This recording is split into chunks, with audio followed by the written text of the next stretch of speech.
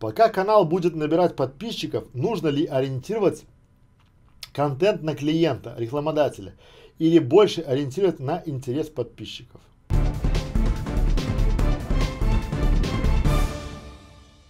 Клиент слэш рекламодатель покупает не вас, не ваш контент, не ваш канал, не вашу харизму, а он покупает внимание ваших зрителей.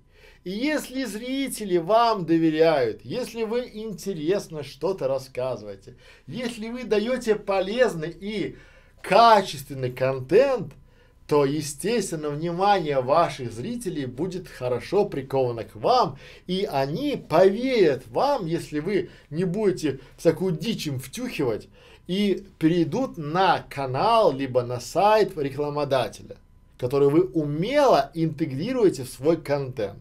Поэтому вывод. Вы должны лечь костями, чтобы внимание вашего зрителя был всегда в фокусе на нас. То есть зритель должен любить нас. Мы должны холить, лелеять, обхаживать его, танцевать танцы с бубнами. Потому что все ради внимания. Потому что рекламодатель, либо клиент – он покупает внимание ваших зрителей.